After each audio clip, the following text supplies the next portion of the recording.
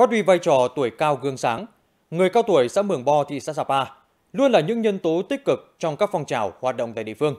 Đặc biệt thông qua việc thành lập và duy trì câu lạc bộ liên thế hệ Mây Che Đan, người cao tuổi tại địa phương đã có những đóng góp quan trọng trong việc giữ gìn các giá trị văn hóa truyền thống của dân tộc, phát triển ngành nghề và góp phần nâng cao thu nhập cho người dân. Thành lập từ tháng 10 năm 2020, câu lạc bộ liên thế hệ Mây Che Đan xã Mường Bo đã có sự tham gia của 9 thành viên. Với lực lượng nòng cốt là người cao tuổi, các thành viên tích cực hỗ trợ giúp đỡ nhau để hoàn thiện các sản phẩm đan lát phù hợp với xu thế và thị hiếu của khách hàng. Ngoài các vật dụng hàng ngày như mẹt, sàng, bồ đeo, rổ giá, thì các thành viên còn nghiên cứu, thiết kế đan thêm các sản phẩm dùng để trang trí như giỏ đựng hoa quả, chụp trang trí bóng đèn. Mỗi người làm à, một công đoạn.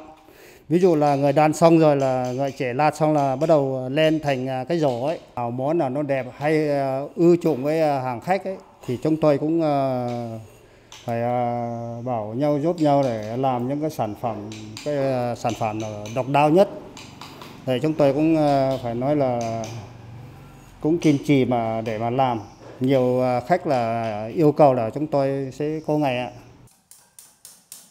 được làm thủ công, các sản phẩm của câu lạc bộ luôn được thị trường đón nhận với giá thành ổn định. Trong đó có những sản phẩm làm cầu kỳ, đòi hỏi yếu tố thẩm mỹ cao, có giá từ 200 đến 250 ngàn đồng một sản phẩm. Đến nay, câu lạc bộ đã xuất bán ra thị trường hàng trăm sản phẩm, thu về hơn 50 triệu đồng. Thời gian tới thì tôi cũng muốn là mở mang thêm tức là vận động các cháu ít tuổi để chúng tôi ờ, cùng tham gia để cùng chúng tôi để truyền nghề cho thế hệ trẻ để giữ lại cái bản sắc đan lát này không cho nó mai một đi. Xác định việc lưu giữ, bảo tồn nghề truyền thống là nhiệm vụ quan trọng. Thời gian qua, chính quyền địa phương đã quan tâm, khích lệ động viên tinh thần người cao tuổi và hỗ trợ câu lạc bộ có địa điểm để trưng bày, giới thiệu sản phẩm.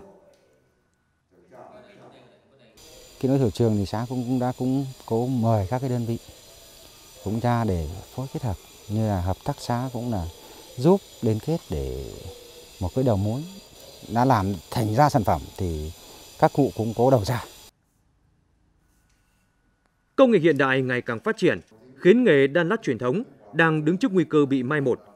Bởi vậy, việc thành lập câu lạc bộ liên thế hệ mây che đan xã Mường Bo không chỉ khẳng định vai trò, sự nỗ lực của người cao tuổi trong phát triển kinh tế, mà còn góp phần lưu giữ và bảo tồn bản sắc văn hóa truyền thống của đồng bào dân tộc nơi đây.